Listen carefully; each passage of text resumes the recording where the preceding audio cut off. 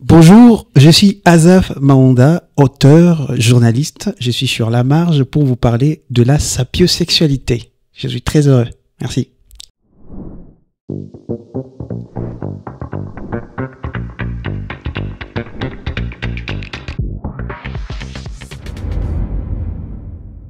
Alors, Azaf Maonda, bonjour. Bonjour Dominique. Tu t'es fait appeler l'habiturotomophilogène.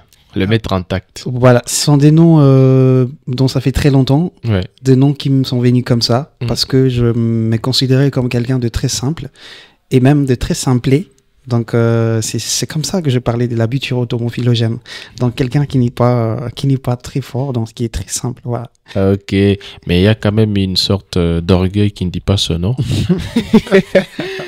Ah bon, comme les gens peuvent les dire en tout cas. Ouais. Alors, aujourd'hui, on parle de la sapiosexualité. Pourquoi tu t'intéresses à ces sujets? Parce que si j'étais choisi, ce n'est pas au hasard, c'est parce que nous avions eu à avoir des conversations sur euh, la question. J'ai trouvé qu'il était important que le public puisse en bénéficier aussi. Pourquoi j'ai choisi euh, ce concept? Je me souviens, j'étais encore étudiant à l'époque lorsque je commençais par, euh, à, à parler de ces concepts de la sapiosexualité. Hmm. Pour moi, c'était une manière de me différencier des autres. De dire, euh, je me voyais un peu différent, un peu euh, dissident, un peu euh, mis à l'écart par rapport à certaines convictions que j'avais ou une orientation de choix ou de, de, de conversation ou de fréquentation.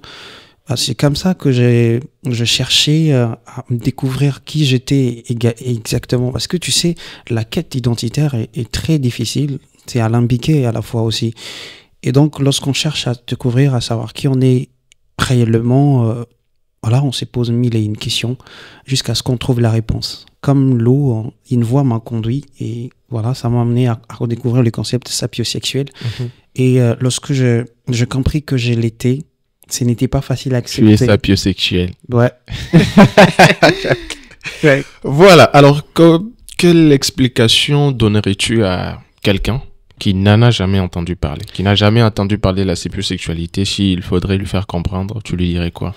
Ouais, c'est, ça sort un peu de l'ordinaire. Mhm. Et pour d'autres personnes, c'est un peu, euh, voilà, pas trop, en- pas trop catholique. Mais la sapiosexualité, c'est justement l'orientation sexuelle ou romantique euh, dans laquelle une personne est attirée principalement par l'intelligence euh, Mhm. de, sa, de son partenaire potentiel. Et donc ici, euh, ce qui prime beaucoup, c'est le charme intellectuel. Les charmes intellectuels, c'est, c'est quoi? C'est, c'est, c'est l'art de séduire par l'intelligence, la connaissance et la réflexion. Un sapiosexuel, c'est quelqu'un qui est séduit par l'intelligence, par la réflexion et par la connaissance. Et ce qui prime ici, c'est ça. Ce sont des éléments euh, euh, de la connaissance, de l'intelligence, de la pertinence qui euh, galvanisent la personne.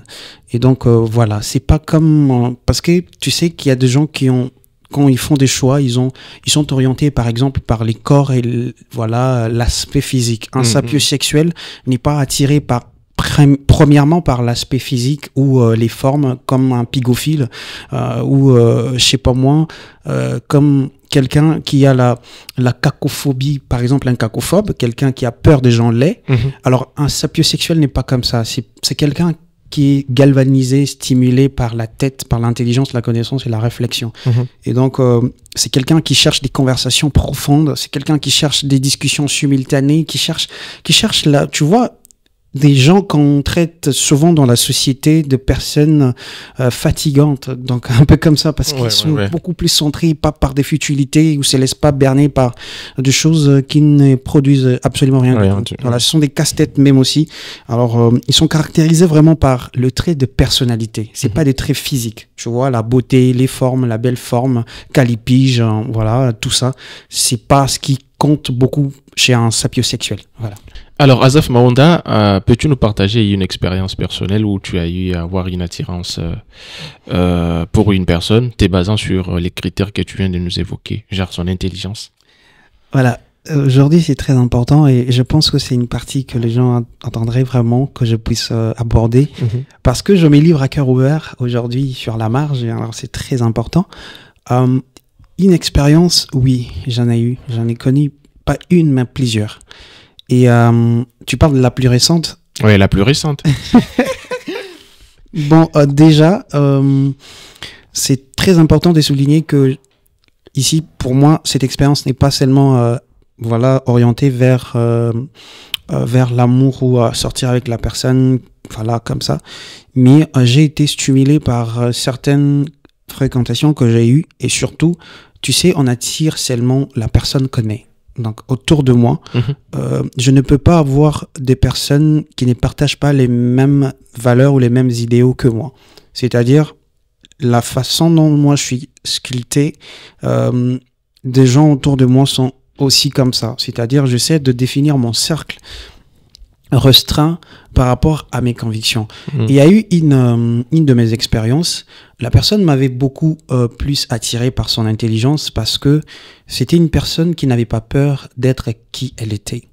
C'est-à-dire euh, dissidente, euh, intelligente et elle était très forte en réflexion. Mhm. Donc je vais dire, euh, c'est quelqu'un qui avait la capacité, tu vois, la capacité de séduire non seulement en amour mais aussi en amitié, hein, ça existe. Ouais. Et donc la capacité de séduire par l'intelligence. Donc tu, tu vois, il y a des personnes comme ça, tu regardes, la personne n'est pas absolument belle comme les autres. Ouais, ouais, ouais. Et surtout euh, en ce qui concerne la femme, tu vois, la femme aujourd'hui, c'est la beauté physique et tout, mais euh, il y a voilà ce charme de la beauté, ce charme de la beauté intellectuelle.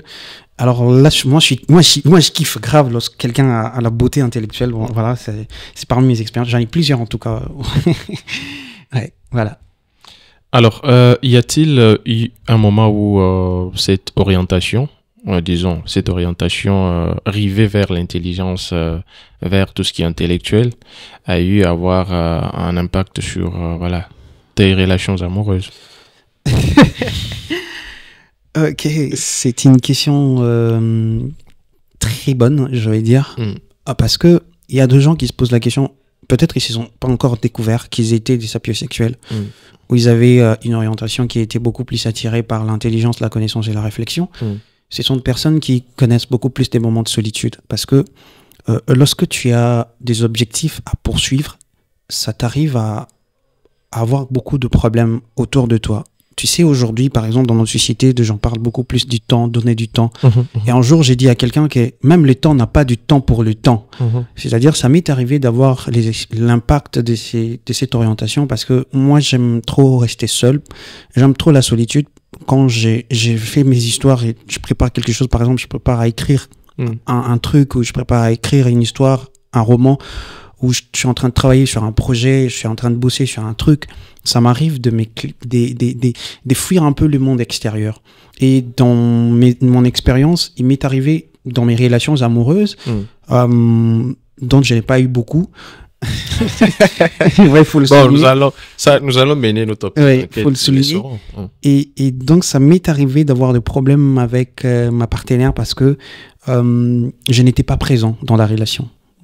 Voilà, ça m'arrivait que je puisse me, retirer un peu, être en retraite pour préparer mes, mes histoires. Et tu sais, aujourd'hui, euh, les filles, voilà, elles demandent trop, surtout sur la Sur la présence. présence aussi, ouais. Elles demandent vraiment trop, elles demandent Mm. trop. Pour dire oh non, tu dois être présent. Toi, t'es pas là, c'est-à-dire t'es avec quelqu'un d'autre. Ouais. Alors ça m'est arrivé vraiment de, de que, que mes relations ne marchent pas beaucoup, voilà, bien, parce que euh, voilà, je me rendais compte que on ne partageait pas les mêmes euh, aspirations. Mm. Et, et c'était très compliqué parce que c'est aussi quelque chose, je dois souligner, de très important.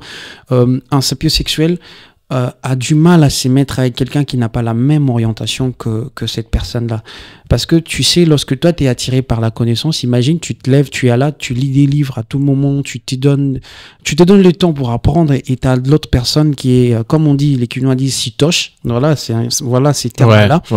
Ça va pas bien marcher. Parce que la personne va avoir des conversations futiles alors que toi, tu as des conversations approfondies, euh, intellectuelles. Tu vas casser sa tête jusqu'au moment où je vais dire, à toi, voilà, tu me, Ouais, tu me saoules. tu me saoules. voilà, c'est un peu compliqué. Voilà. Mhm. Hmm. Alors, penses-tu que la sapiosexualité peut mener à des relations durables et profondes?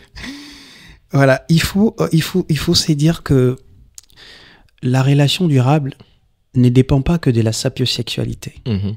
Parce que l'amour regorge plusieurs, euh, comment je vais appeler ça? Il y a une, une ligne en amour qu'on ne peut pas franchir. Il y a de normes à respecter en amour.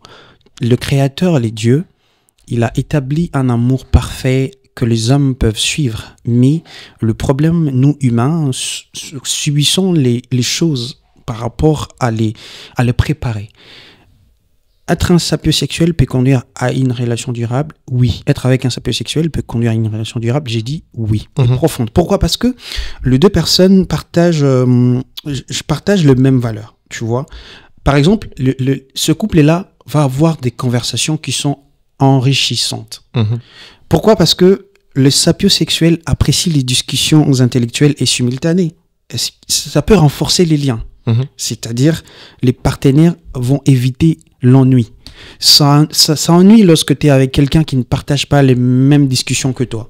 Ça ennuie lorsque la personne te parle, tu vois, tu sais, tu as vu mes copines, elles étaient là-bas, elles étaient sorties, elles étaient dans un restaurant, d'ailleurs son gars a fait ceci, c'est là. Alors que les sapiosexuels, lorsqu'ils sont en couple, ils parlent des conversations enrichissantes, ils voient de l'avenir, ils sont en train de parler des choses, tu vois toi-même que, oh, ça c'est un couple sérieux, hein Voilà. ça badine pas. Mhm. Tu vois, ça, voilà. Et aussi, euh, ce couple partage des valeurs partagées, c'est-à-dire des valeurs qui sont partagées. Permettez-moi la tautologie, c'est-à-dire Ouais, les personnes attirées par l'intelligence peuvent euh, avoir des valeurs, des intérêts communs.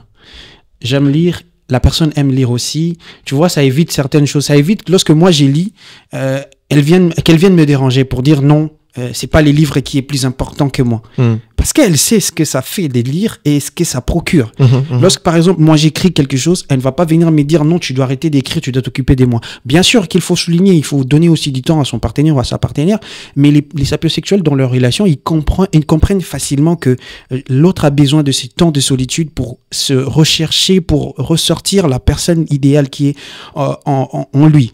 C'est-à-dire, c'est pas de relations où il y a des choses fugaces, où euh, les valeurs sont éparses. Donc, c'est des relations mais aussi a le respect mutuel. Parce que Mhm. euh, quoi l'intelligence ça, ça ça rend- ça renforce au fait le fait de de- de- d'ad- d'admirer l'intelligence de l'autre ah il est intelligent. Tu vois ça ça, ça se respecte. Mais il faut souligner que euh, en tout c'est là parce que je vais aussi ajouter les développements personnels. Lorsque tu sors avec un sapiosexuel tu es développé tu vas te développer. Moi, il y a eu des gens comme ça, en amitié, hein, c'est-à-dire, euh, on parle pas seulement de l'amour, en amitié, il y a des gens qui, euh, jusqu'aujourd'hui, ils vont témoigner pour dire, bah voilà, Zaf, je ne regrette jamais d'être ton ami parce que j'ai appris beaucoup de toi, sans que tu me les dises, par Mhm. rapport à ta manière d'être, par rapport à ta manière de faire les choses. T'es pas si présent, t'es pas si là et tout, mais quand on est avec toi, il y a toujours quelque chose d'utile et tout. Voilà, on aime ça. Donc, dans, dans un couple de sapiosexuels, on va, on va avoir les développements personnels parce que l'autre va challenger l'autre et, et ça, sera, ça sera comme ça. Mais au-delà de tout, l'amour demande beaucoup de choses aussi. L'amour demande la communication, la compatibilité. Là, on parle de la sapiosexualité parce que c'est la compatibilité. Mhm. On peut pas avoir un sapiosexuel qui. Parce que ça ne se limite pas qu'à avoir un sapiosexuel qui est attiré par l'intelligence, mais aussi ça entre en compte certains critères. Parce Ouais, que ouais. Je suis un sapiosexuel, tu es un sapiosexuel, je peux pas peut-être accepter que tu sois impoli, je peux pas peut-être accepter que euh, voilà qu'il n'ait pas la communication qu'il faut, la compatibilité, euh, voilà. Donc l'intelligence elle seule ne définit pas la durabilité d'une relation. La relation demande de l'entretien, c'est comme une voiture qui demande de l'entretien. Mhm. Il faut entretenir bien sa relation. Il faut pas se limiter à dire bon, on est de sapiosexuel. Donc vu qu'on a découvert qu'on est des sapiosexuels, on se limite à, la sapiosexualité, euh, ce qui régorge l'intelligence, la, la connaissance et la réflexion. Mm. Mais aussi, il faut tenir compte que l'amour, euh, c'est comme une fleur qu'on devrait arroser tous les jours pour ne pas euh, que Quel l'autre fan. voilà quel fan parce que tu vas te rendre compte que tu es sapiosexuel mais il Mm. y a un gars qui a qui a chopé ta voilà qui a volé ta meuf c'est pas un gars qui est sapiosexuel tu vas te dire mais quoi il a lui que moi je suis plus intelligent que lui peut-être qu'il était plus intentionné que toi Ouais. et donc euh, c'est très important la femme a juste besoin d'avoir de l'attention Mhm. pour qu'elle se rende compte qu'elle est aimée pour dire bah voilà je peux me mettre avec lui même s'il n'est pas un sapiosexuel même s'il n'est pas intelligent moi j'ai besoin quand de- même, il a certains aspects euh, parce que tu peux être sapiosexuel je été dit tu peux être un sapiosexuel si Mm. si t'es pas fidèle par exemple c'est très c'est pas très intéressant Ouais, ouais. voilà, tu es là à tout moment à chercher gauche et à droite. Et voilà, tu peux pas, par exemple, avoir une relation durable lorsque tu fais ça. Parce Alors- que les autres, ils se disent, OK, il est sapiosexuel, il est intelligent, il Mm. a ces soucis-là. Il se permet de faire tout, n'importe quoi, parce que la femme ou l'homme va accepter que ma femme, que mon homme est un sapiosexuel, il est intelligent. Voilà. Voilà. Et quel conseil donnerais-tu donnerais-tu plutôt à une personne qui est sapiosexuelle et qui voudrait rencontrer un partenaire euh, compatible? Ok, là, je me, mets, je, je me mets dans la peau du maître en tact, le maître en sensibilité pour dire euh, les conseils, je le donnerai, je le donnerai, c'est pas un problème, mais il faut euh, que les gens comprennent que euh, lorsque vous cherchez à, à sortir ou euh, avoir des conseils, lorsque vous cherchez un partenaire compatible avec vous, vous devez vous connaître au préalable. Mhm. Parce que vous pouvez être un sapiosexuel, mais vous avez encore d'autres choses, peut-être d'autres défauts à travailler. Être un sapiosexuel ici n'est pas dit qu'on est, euh, on a la science infuse, c'est-à-dire la connaissance de toutes choses. Non. Parce que ça va renforcer l'orgueil chez, quelqu'un d'autre, chez, d'autres personnes, Mhm. pour dire, ok, je suis sapiosexuel, c'est-à-dire je suis au-dessus de tout le monde. On n'est Mhm. pas au-dessus de tout le monde. Alors, à la recherche de, de- de- de- de- d'un partenaire, d'une partenaire compatible, euh, quand on est sapiosexuel, c'est de choisir des lieux qui sont adaptés. Tu ne peux pas être un sapiosexuel à la recherche d'une sapiosexuelle et tu vas aller commencer à aller chercher dans des bars, tu vas aller chercher dans des terrasses, dans des boîtes de nuit. Tu ne le trouveras pas. Tu ne la trouveras pas. Parce qu'un sapio ou une sapiosexuelle ne fréquente pas vraiment ces milieux-là. Ne fréquente Ouais, pas ces milieux-là. Alors fréquentez des endroits où, euh, où vous rencontrez des personnes qui ont le même intérêt intellectuel que vous Que vous, ouais. fréquenter ces genres de, de voilà. Il y a déjà les cafés littéraires, ça existe. Il y a les conférences, il y a des musées, les événements culturels. Ayez, ayez l'habitude d'aller dans des, aller au musée, aller, aller dans des librairies, aller librairies pardon, aller dans des conférences, aller dans des tables rondes, des débats scientifiques, des débats intellectuels.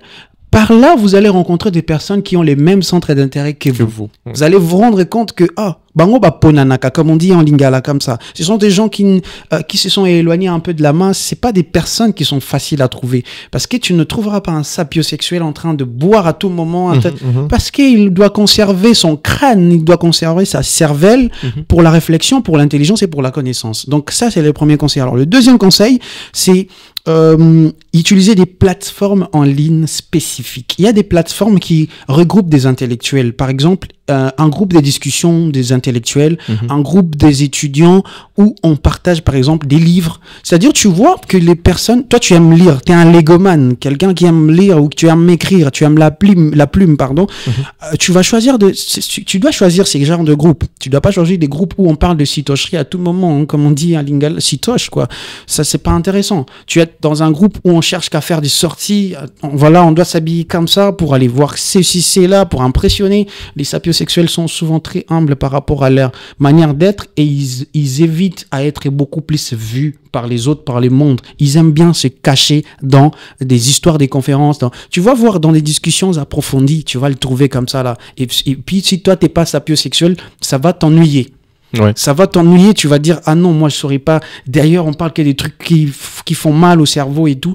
Mais les sapiosexuels aiment ça. Voilà pourquoi il faut se choisir Mhm. pour éviter de, De mettre l'autre mal à l'aise. Ouais. Et aussi, euh, je, je vais dire, il faut participer à des clubs et des groupes de discussion, je l'ai je l'ai dit aussi. Il faut rejoindre des clubs de discussion, par exemple, un club de lecture où les gens se retrouvent. Et d'ailleurs, on va l'annoncer bientôt, on va créer un, un, un- un- notre propre club de lecture dont tu feras aussi partie parce qu'on se connaît, voilà, quand on est des sapios, on se connaît. Voilà. Et donc, c'est très important lorsque vous avez ce genre de groupe, allez-y intégrer. Ça va vous permettre de vous développer parce que c'est la quête. Voilà, un sapiosexuel, c'est juste un chemin voilà, de la perfection. Bien qu'on ne on on l'atteint pas jamais, ici, oui. mais on s'est on s'est donne le moyen, tous les idéal, moyens possibles, c'est un idéal. Mm. Alors soyez authentiques, c'est très important. Ne soyez pas factices, ne soyez pas euh, des gens qui sont faussement consolés et qui vont copier et qui vont coller. Non, soyez authentiques. Sois toi. Écris des textes qui sont les tiens. Réfléchis avec toi. Ne procure- en fait, ne t'approprie pas des idées des autres pour euh, pouvoir impressionner les mondes, pour pouvoir impressionner les autres. Sois toi. Sois toi. Parce que quand on est sapiosexuel, on n'est pas parfait. Je l'ai dit encore. Parce que les gens vont penser que non, voilà, bah, je, suis, je suis un sapiosexuel, je vais carrément être euh, le plus beau, le plus intelligent, le plus. Voilà. Montrez votre intérêt pour des discussions approfondies intellectuelles. Soyez-vous, n'ayez pas peur. Parce que tu vas croiser une belle fille dans un club de lecture, tu t'es dit, eh, si je lui dis que moi, je, comme je suis là, je suis comme ça, elle va, ou tu dois croiser un beau gosse. Parce que ça arrive, hein, des sapiosexuels sont aussi des beaux gosses. Ouais. Mais tu vas aussi croiser quelqu'un qui n'a pas vraiment. Parce que tu vas pas privilégier l'aspect physique. Il faut qu'on les souligne. Parce que les gens ici vont dire, ah, moi, je suis sapio, mais moi, vraiment, il faut d'abord qu'elle ait la forme, soit qu'elle ait pige, qu'elle soit ceci, c'est là. Il faut qu'elle, qu'il faut qu'il ait des tables de, de chocolat et tout. Alors, tablette de chocolat, mais les sapios, c'est pas d'abord ça. C'est d'abord la tête La qui tête, réfléchit. ouais. La Mhm. tête qui pense, le, les cervelles. Alors, il faut pas négliger aussi les autres aspects de la relation. Je viens de le, je viens de le dire encore parce que on peut te voler ton partenaire ou ta partenaire par quelqu'un par, par quelqu'un qui n'est pas sapiosexuel, mais qui a de l'attention, qui donne du temps, c'est-à-dire le temps d'écouter l'autre, c'est très important aussi donc dans la relation. L'attirance intellectuelle, c'est bien, mais il y a des aspects essentiels hein, pour une relation humaine, pour qu'une relation puisse durer, il y a de, de, de- d'autres choses. Alors le dernier conseil, je vais dire que il faut être patient Mhm. et persévérant. Donc c'est-à-dire trouver la personne idéale peut prendre du temps. Ça peut prendre du temps. Et soyez patient. Lorsque vous trouvez quelqu'un, euh, ne vous précipitez pas dé- déjà seulement à, se dire ok on doit se mettre en couple, on doit se c'est là et tout. Alors soyez patient. Donnez-vous du temps, donnez du temps à cette personne aussi. Peut-être que vous vous êtes mieux que lui ou mieux qu'elle et vous pouvez l'orienter. On ne découvre pas un sapiosexuel juste en un coup pain. C'est une sapiosexuelle, pain, c'est un sapiosexuel. Quand tu découvres par exemple l'intelligence, mais cette intelligence-là n'est pas au niveau où toi tu veux. Mhm. Alors qu'est-ce que tu dois faire? Tu dois faire, tu dois aider l'autre à développer cette intelligence. C'est ça aussi un sapiosexuel. C'est quelqu'un qui veut challenger les autres. C'est quelqu'un qui veut qui veut voir les autres être euh, en haut. C'est-à-dire que c'est quelqu'un qui donne des ailes aux autres pour qu'ils puissent voler, voler plus haut. C'est ça être un Un sapiosexuel. peu comme un une- aigle. voilà, c'est comme un aigle. C'est une responsabilité, une charge lourde. C'est c'est une charge, je vais dire. La charge mentale aussi, parce que, euh, comme, comme moi je peux les dire, tu vois, euh, ça m'est arrivé de croiser des personnes dont j'aimerais bien travailler avec eux, être avec eux. Et ce que j'ai fait, j'ai essayé d'influencer positivement ces personnes-là. Mhm. Même si je ne dis pas que j'ai influencé cette personne, mais je l'ai senti au fil du temps que non, cette personne est influencée par moi, l'autre est influencée par moi, pour dire que on copie ce qu'on voit chez les autres, qui, soit les choses qui sont bonnes, et la personne va commencer à copier comment toi tu es, comment, et tu vas voir que l'intelligence va se développer, l'in- l'intérêt, la connaissance et la réflexion. Tu peux aider l'autre, tu, quand tu vois déjà qu'il fait un pas, de dire, il, quand même, il passe peut-être une journée où il a lu par exemple 10 pages, toi tu lis 100 pages par jour, il faut pas se dire non, j'écarte cette personne, non, Non. donne le temps à cette personne. Si tu l'aimes ou si tu veux être avec lui en tant qu'ami ou en tant qu'amoureux, amoureuse, donne du temps, sois persévérant. Alors c'est très important. L'habiturotomophilogène. Plaisir en tout cas. Alors, euh, c'est la fin de l'émission. Euh, déjà? Mais y a-t-il un aspect. tu vas à l'émission intéressante. Ok. Bon. Mm, On se donnera les moyens. Donc, il faudrait que l'on trouve un autre sujet à développer. Ouais, Les choses à venir. déjà, oui. Alors, euh, y a-t-il un aspect sur la sapiosexualité que nous n'avons pas abordé, que tu aimerais éclairer ou que tu aimerais, voilà, euh, t'épancher là-dessus? Un autre aspect très important, euh, peut-être j'en ai déjà parlé au cours de cette émission, hein, moi j'aimerais bien le dire que la vie est faite de choix. Mhm. Vous savez, lorsque vous, avez votre choix, votre choix n'est pas accepté par tout le monde. Soyez-vous. J'aimerais bien insister sur l'authenticité. C'est très important. Pourquoi? Parce que comme vous êtes là, vous êtes vous, ça vous permet d'attirer les personnes qui sont comme vous. Quand vous êtes là à suivre les autres, ça ne vous permet pas de vous découvrir. Il y a des personnes dans leur quête identitaire qui ont fait comme les autres. Tu vois, je préfère être un petit moi que d'être un grand comme un autre. C'est ça, c'est très important. Soyez-vous. Moi, moi, je, moi, je l'ai dit toujours. En tout cas, il faut être vous. Parce que lorsque vous êtes vous, quelqu'un un jour m'a dit, j'aime bien comment vous êtes. Mais moi-même, ça m'est arrivé beaucoup de temps où je me doutais de moi. Je n'aimais pas la personne que j'étais. Je voulais être comme les autres. Ça m'est arrivé. Parce que je doutais de ce que j'avais comme capacité, comme potentialité, qualité ou défaut. Je me disais, les autres, ils sont mieux. Les autres qui, vont qui font des sorties, qui font ceci, cela, ils sont mieux. Et quand je passais du temps dans ma chambre en train de lire des livres, parfois j'enviais les autres. Quand j'ai passé euh, le nouvel an, voilà, le 1er janvier, où tout le monde va festoyer, où moi je me donnais de la charge de dire, ok, ces jours-là, moi j'ai lisé un livre entier. Parfois j'enviais les autres. Mais aujourd'hui, je, je, je peux te dire, je suis content de ce que j'ai fait ou de ce que j'ai établi comme euh, ligne des conduites Hmm. donc euh, dans ma vie. Fixez-vous des objectifs. Donnez-vous les moyens de réussir. Donnez-vous les moyens d'être vous. Et lorsque vous avez compris votre voie, peut-être on parlera de la quête, identitaire dans une autre émission ici, si ça serait intéressant, parce que beaucoup de gens ne savent pas vraiment qui ils sont réellement. Et ça, c'est pour moi, c'est blessant, parce que je sais comment ça fait mal de ne pas se connaître. Quand tu te connais pas, tu fais des choses qui qui ne sont pas destinées à toi. Parce que on doit d'abord se connaître avant de se lancer dans quelque chose, peu importe. Et ça commence de les bas âges. je pense que ça sera très intéressant d'en parler dans un prochain numéro. Et donc, euh, c'est quelque chose que je- j'aimerais bien ajouter à la fin de cette émission que j'ai trouvé sexy et très intéressante. Sexy. ouais, sexy et très intéressante. Merci. Voilà, donc euh, c'est un peu ça. Ok. Azaf Maonda, ça a été un plaisir euh, de te recevoir pour la deuxième fois. Pour la deuxième fois. Je rappelle que pendant que j'ai commencé euh, cette émission, euh, Oui. les concepts de la marge, tu fus parmi les premières personnes. Moi, J'en suis très fier aujourd'hui. La marge, c'est une grande communauté. En tout cas, chapeau, chapeau. Et c'est un travail de monstre que tu fais. En tout cas, moi, je suis fan de ce travail. Je te jure, de loin ou de près, euh, peut-être que je t'ai jamais dit, mais tu es un exemple pour la génération, pour notre génération. Donc, euh, Merci. c'est c'est très, très bien, en tout cas. Et la fierté, que lorsque j'ai dit aux gens, tu, tu vois la marge, moi, je suis parmi les premières personnes à être là. hein. Ouais.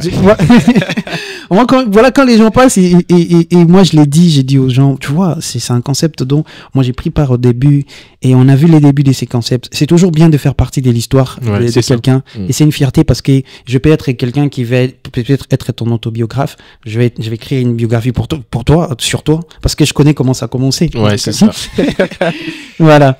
Merci beaucoup, Azaf. Je pense que c'est pas la dernière fois. Non, ce n'est pas la dernière Et fois. surtout que les gens ont patienté pendant plusieurs, Plusieurs mois jours. pour cette Et émission. puis, ça a été annoncé sur Facebook. Oui, ça a été annoncé. Donc, c'est, voilà, on a tenu promesse. hein. Ouais, c'est ça, voilà. Après une année. Après une année, en tout cas. Presque une année. Voilà. Oui. Mesdames, Messieurs, c'est la fin euh, de cette émission qui a été consacrée à la sapiosexualité, qui est un processus, comme l'a dit le maître intact. Nous sommes arrivés à la fin. Nous vous remercions de nous avoir suivis. Je vous donne rendez-vous très prochainement pour un autre numéro. Au revoir. Au revoir.